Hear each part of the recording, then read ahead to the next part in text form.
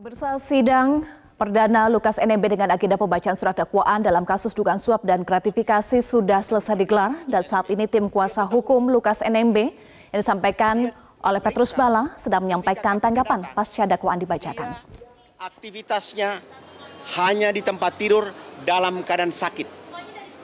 Jadi bagaimana KPK menjelaskan menerima uang 10 miliar dari Pitun NMB? Itu tidak ada, ya. Kedua, mengenai mengenai 35 miliar dalam bentuk fasilitasi. Pak Lukas membantah semua. Ya, jadi jadi oke okay, teman-teman, saya ditunggu Pak Lukas ya. Ya beliau ini kan suka emosi, jadi harus sama saya gitu. Oke okay, oke. Okay. Sudah karena dia suka, kalau berdua kalau suka bertengkar begitu, tapi ntar baikan juga. Setiap dalam dalam hitungan detik baikan lagi. Nah,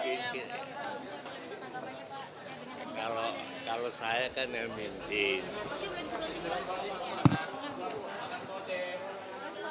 Saya dapat tugas untuk mimpin para pengacara. Yang paling dekat dengan si Lukas Petrus. Tapi kami sama-sama selalu berkunjung.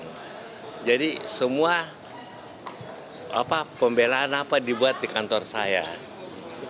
Dan memang saya sudah baca 184 saksi kan ini kan suap dan gratifikasi. Ya, kapan suapnya diberikan cuma laka aja saksinya satu. Itu pun uang dia. Nah, kemudian saya baca BAP-nya 1024 BAP penyitaan.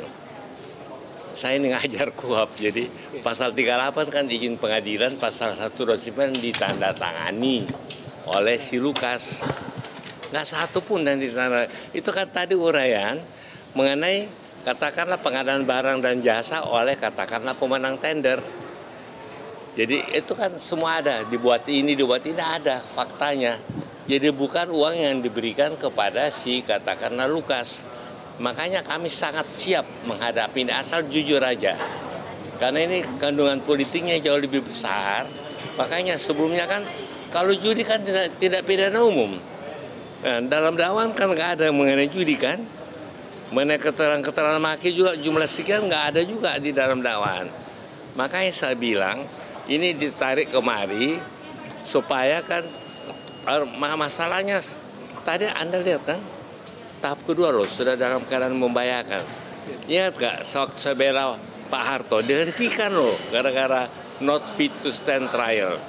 Jadi mungkin barangkali nanti kita kasih aja kepada siapa nanti kepada CNN anu apa apa anu, anu